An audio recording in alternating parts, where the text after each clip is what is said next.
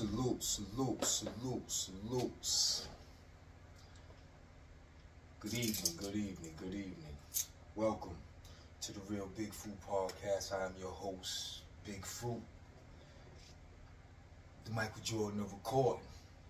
But it ain't early in the morning. It's late in the evening. And it's the end of the year. And as you see, I'm dressed in all black, so you know what I'm doing. I'm doing a memory. It's the end of the year. And I want to end the year off right. I want to say rest in peace, Chyna. Myron Dukes. I know him and Shoe up there. And uh, I just want to say rest in peace, Myron Dukes. Uh, I want my subscribers to know I read my comments. And um, I slam dunk all alley oops, but at the same time, I try to respond and deliver on all requests. Now I got a request from the state of Connecticut. First and foremost, shout out Connecticut. Connecticut showed me love. They liked the segment I did for Chyna. They said it was honorable and they respected it. But at the same time, they asked me could I do it over because I did it in my car. And it had an echo. So they was like, although they appreciated it, although they respected it, and I was humbled about it, they asked me to do it over. So that's what I'm doing tonight. So this is for Connecticut. Shout out to Connecticut. Real talk. This is for y'all. And I'm gonna sit here and you know, I bought this 1800 for shoe, and I drunk damn near most of it. But I saved some for Chyna, because that's his little man. So I'm going to drink the rest of this. I'm going to finish this off for Chyna. Real talk. You know what I'm saying? And I'm going to go into my memories of Chyna. Now, I remember when Chyna first came through Rikers Island, son. C74, 1992. He was a little baby face kid, you know what I'm saying? And, um, you know, we was all kids at the time, 16, 17, 18 years old. And as we got to know each other, we got to talking about our cases, you know what I'm saying? And if my memory serves me correctly, Chyna was locked up for a homicide, a, a, drug-related homicide, drug deal going bad type shit. Coming from Connecticut to New York, and I think in the process of the bad drug deal, a friend of his lost his life, and Chyna ended up coming to jail. I'm trying to remember all the details, but um, it was something to that effect, and um, I kind of related to him early, because he more or less was, if I'm not if I'm not mistaken, he was giving me the impression that his case was more or less him being incarcerated for the death of his friend with this drug deal going bad, if I'm not mistaken. I think that was the situation. And I kind of connected with him on that because, you know, everybody knew my case. I had some crazy shit going on myself. You know what I'm saying?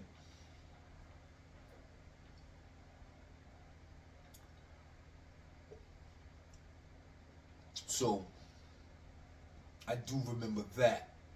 And, um, like I said, you know, that was kind of that was that was some serious shit to deal with for a 16, 17 year old kid in a whole different state. You know what I'm saying? He was coming from Connecticut. He had to deal with that shit in New York. He had to deal with that racket selling shit. He had to deal with the New York judicial system. That shit was a lot. You know what I'm saying?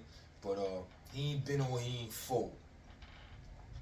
And with that C74 shit, you know, he went through his bumps. He went through his bruises. I told y'all about that shit.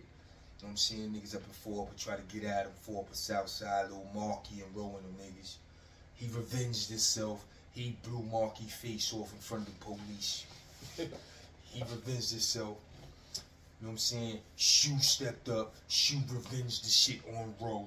Like, you know what I'm saying? So that shit was taken care of. Real talk. You know what I'm saying? I remember when Chyna Chyna wet. Chyna wet a, a, a, kid I grew up with. Spanish kid named Baby J. Yeah, Jermaine. I remember in the 80s, a family had moved in my hood up the block on Clarkson Avenue. Shout out to all them Clarkson Avenue niggas, man, Chewy and all them niggas. You know what I'm saying? Y'all know what it is. A family, a Spanish family had moved over there on Clarkson Avenue. They was living in the brownstone over there with Miss Wu. Shout out Miss Wu.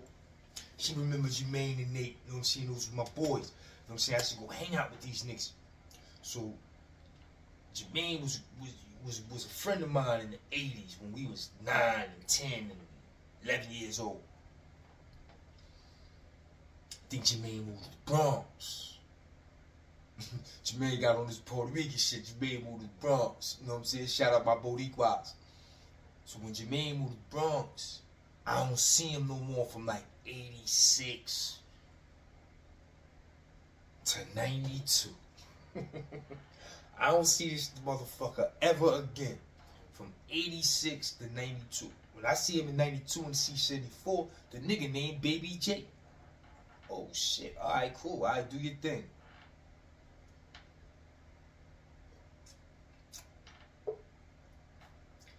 He was one of them little niggas who got caught up in some cuttings and shit.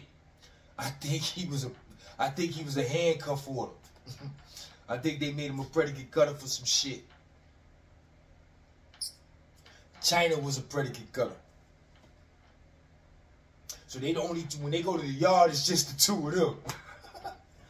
and you know, I guess when they was predicate cutters, you know, it was just the two of them. They only had the two of each other to deal with all day, every day. They probably only let them two in the shower together. You know what I'm saying? They probably only let them two niggas go to the yard together. We gonna get back to that shower shit in a minute. On some real grown man time, not no weirdo shit. You know what I'm saying? Because we on grown man time on the Real Big Fruit podcast. You know what I'm saying? So, something went left with Baby J in Chyna. They sent them niggas to the yard, man. Trying to cut the shit out of Baby J, man. Yeah, China was letting it go, man. And I think, I think he, he was a little disgruntled with me because I wasn't talking about that shit, man. But let me let you know, man, I'm doing it now, man. You ain't have to act like that with Big Fruit, man, because you wanted your, you wanted your little history told. You know what I'm saying? I'm down here drinking for you, telling your motherfucking story, man. You ain't have to go crazy and all that stupid shit. But that's that's that's that's what under the bridge. We gonna celebrate you right now. Word the mother. We're gonna celebrate you and we're gonna rock out for Connecticut because y'all asked me to do this. You know what I'm saying? We're gonna end the year right. We're gonna end 2022 right. You know what I'm saying? Uh yeah, so he blew Baby J ass. Yo, I'm gonna tell you some funny shit I said about the shower, right?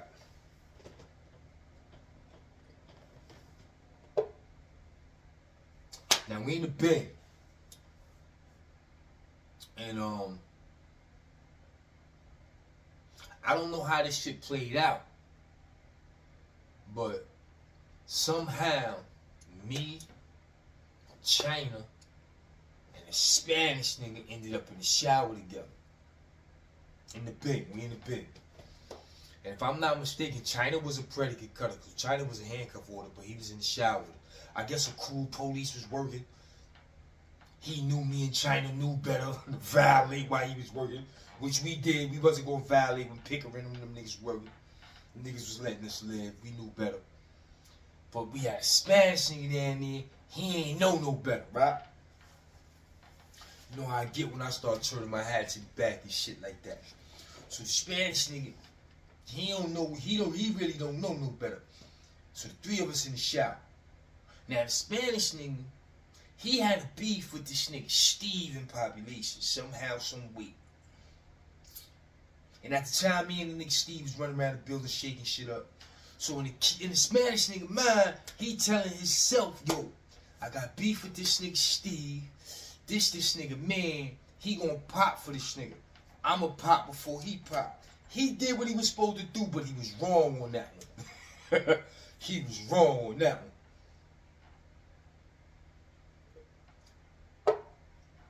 So we in the shower, the three of us, we talking and shit. Me and Chyna talking. He off in the corner. He in the corner. I'm in the middle. Chyna by the door, like by the the, the, the in the other corners. Three showers. And while we talking and shit, I ain't I ain't giving a nigga my back. You know what I'm saying? I'm giving a nigga my side because my back is facing the wall and shit. And I'm talking to Chyna. I'm cutting my eye at the niggas. I don't know the nigga from nowhere. And I must have slept on the nigga, son. Out of nowhere. I thought the nigga snuffed me. But the nigga stabbed me in my like my cheekbone with a pin. Right in the shower. Boom. Oh shit. Oh shit. Chyna like, yo, what the fuck? So the first thing Chyna did, remember I told you Chyna was like by the uh the doorway. The first thing Chyna did was Chyna jumped out the doorway to see where the police was at. Boom, when Chyna jumped out the doorway, the police was like, yo, what the fuck you doing? And tried to, yo, yo, ah, try to play it off with the police. And in that split second, I was on that nigga ass in that shower, son.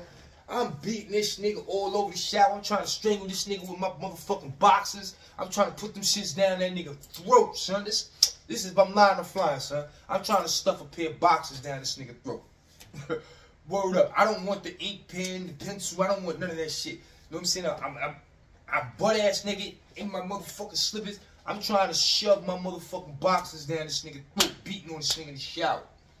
So now the police like, yo, what the fuck going on? The police clean the door. So Chyna like, yo, the police coming, the police coming. Chyna funny nigga. Chyna start walking to a cell. Chyna, you can hear slippers. Chyna start walking to his motherfucking cell. I'm in there wailing on this nigga, beating on this nigga. They come up in there, break the shit up, drag me out the shower, butt ass nigga. Go in there, get that nigga, take that nigga to the clinic. Yeah, man. And this is the shit Chyna wanted me to talk about. He ain't never give me the fucking chance, man. Whoa. Funny shit, true story. They had a little three man click and one man bang. We all bang monsters at this time. It's over. You know what I'm saying? Once the niggas handcuff me, they stamp the rest. What what what niggas don't know about that me beating the brakes off the captain in the yard or the sergeant, whatever the fuck they call it on Ragged Sound. What dudes don't know is this. What I tried to explain was some shit popped off in the yard.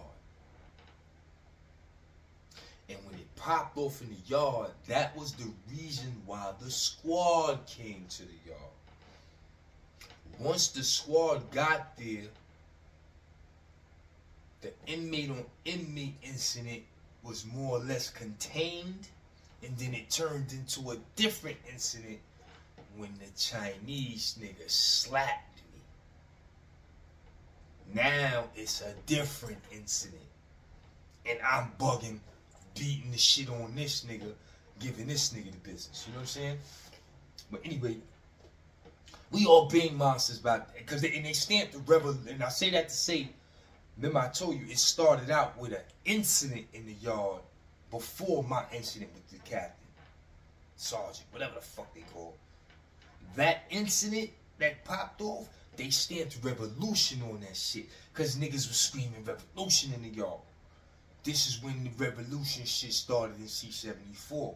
See, this is a part of C-74 history I didn't never mention on them St. Laz stories. I never mentioned when I talked about the boys, but I'm gonna talk about it today while I'm talking about Chyna. Yeah, niggas was screaming revolution in the yard when that incident happened. So, yo, niggas turned into big monsters, son. I was shut down, Shadow was shut down, Chyna was shut down. Uh, they had a, another homie named Ja Rage who was shut down. So they got a three-man crew. Shadow, Chyna, and Ja Rage. These some funny three motherfuckers when they together, boy. All they do sit on the gate scheme and plot, make sure the motherfucker suicide aid ain't violated, man on this particular day, if I'm not mistaken, we had pizza. Shadow gonna have to jump in the comments and remind me about this shit. He know what I'm talking about. He gonna laugh when he hear this shit. We had either pizza or some shit, right? And a dope nigga, he was the suicide aid.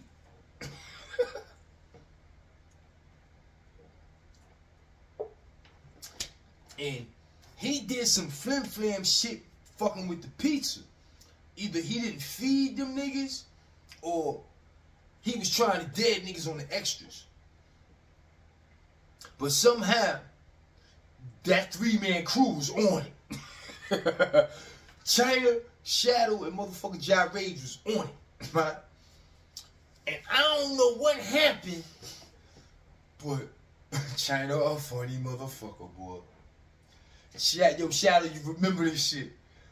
I don't know what happened, but somehow Shadow, Chyna and fucking Shadow convinced this nigga Job. I, I think Rage had to come out and sell for something, and the, suicide nigga was out there. He ain't have no burner. He was leery, and they convinced this nigga. yo, if I'm lying, I'm flying. Yo, Shadow, you remember this shit? They convinced this nigga to make a fake banger I think out of cardboard, and then wrap aluminum foil around it to make it look like a knife. Some crazy shit, son. Yo, I think the nigga did it. Came out the cell with it. Bluffed the nigga. I can't remember, but I think the nigga did it. If I, if I remember correctly, the nigga made the fake knife. He came out the cell in the bin. He chased the dope nigga around some funny shit, man. But yeah, Chyna Chyna gas that nigga up, man. yeah, man. Chyna and Shadow, man. Niggas was alright, man. And I don't know, man. Chyna just, you know, I don't know. After the fall building, we all went on our journeys with that rat up north shit. And like I said, once we left C74 in 93, I never seen Chyna again a day in my life. So we never was in a prison together. We was never in the box together. We wasn't writing each other. Nothing. So I really don't know what transpired with him after C74 1993. You know what I'm saying? We all went on our journeys. We all went through our motherfucking bumps and bruises with this in the system. You know what I'm saying? We all had to grow from boys to men in that shit and then we all had to come home and readjust to this new world. And he he he adjusted it on his terms. He adjusted to this new shit on his terms and it just was a bad look for him, man. It just was a bad look. It was just a bad look.